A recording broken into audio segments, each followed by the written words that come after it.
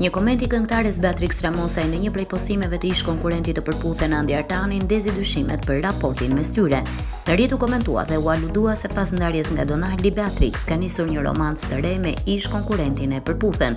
Kjo pasi ky i fundit kishte shprehur më parë pëlqimin për të dhe veprimi i saj i fundit u mor si një reagim apo konfirmim.